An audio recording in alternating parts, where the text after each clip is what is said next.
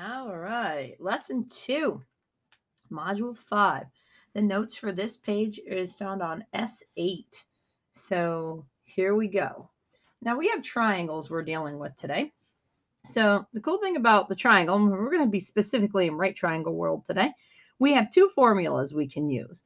We can use area equals base times height divided by 2, or we can use 1 half base times height. Now, when you see a half, don't panic. Some kids see fractions, they're like, no, half base just means whatever this number is, or the h, you can take half of it and then just times it by the other. And there'll be some that we'll be able to try this formula with versus this formula. Either one, perfectly fine. Both work amazing. This you see quite a bit on big exams. This is offered on the Regents exam when you get to high school also. Uh, but this is just a nicer way to look at it.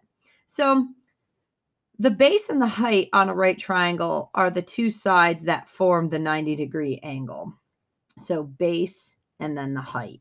So this technically, this triangle looks like it's upside down. This slant side is called the hypotenuse, and we don't need the hypotenuse, okay? So we don't need that. So we need the base and the height. So we have area equals base times height divided by 2. So we want to have the formula line with the big A first. Area equals 31 and 2 tenths times 9 and 1 tenth divided by 2. The reason why I chose this formula here is because neither of these two numbers do I want to split half, split in half in my head. So I really just want to do these naturally um, on paper or you know how that goes. So when I multiply these two numbers together, 31 and 2 tenths times 9 and 1 tenth, I'm going to get 283 and 92 hundredths. Then I need to divide it by 2. Okay? And then when I divide that by 2, we're going to cut this all this all answer in half, which is dividing by 2. And I'm going to get 141 and 96 hundredths centimeters little 2. If you were to have done that all on a calculator or on your side of your paper, don't forget that there are two numbers after decimal points right there that you need to then jump into your number. That's why there's two numbers after. This line right here, some kids don't have. Some kids just have the formula line, the plug-in line, and the answer line, which is totally fine. All right. So now we're going to move to a different one on this page just so you can see the other formula being done, which is this. So we're going to look at the base and the height. So we're going to go to move this can down. Area equals half times base times height. So we can look at this as half of 60 times 11. Well, half of 60 is 30. Are you with me there?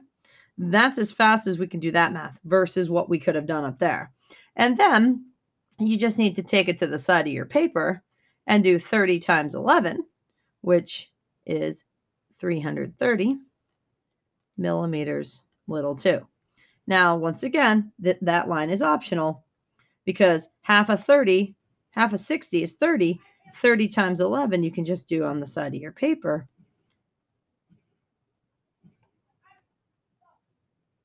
To get your final answer.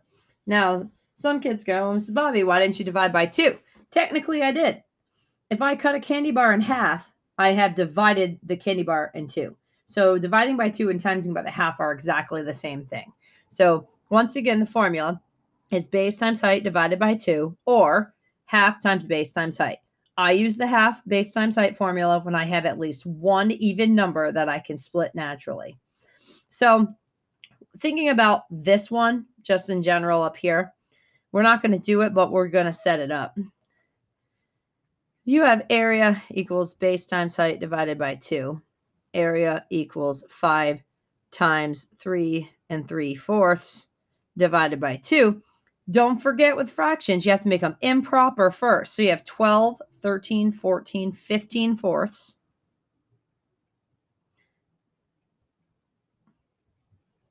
And all whole numbers go over 1. So now you're back into that fraction world before you divide by 2.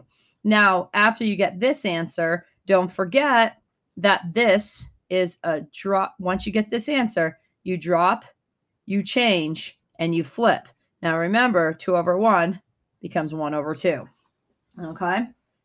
That'll be more lessons on this one tomorrow. This is just the first day of the basics. And as always, I love Diet Coke. And as always, math also.